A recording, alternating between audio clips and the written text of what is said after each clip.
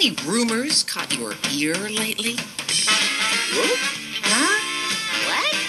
Well, there's a big one spreading all over Bumblyburg just like a weed. Hey, you're a weed. A weed!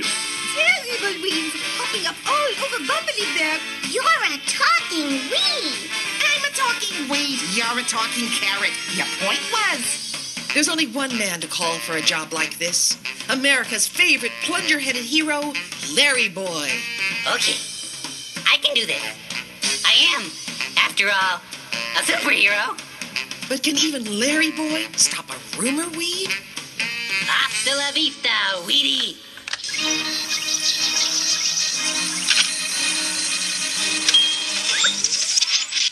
Wrong button. Yes, Larry Boy is back in the biggest VeggieTales adventure ever with a great lesson in the power of words. God doesn't want us to tell stories that can hurt. He wants us to spread nice words. Don't miss Larry Boy and the rumor weed.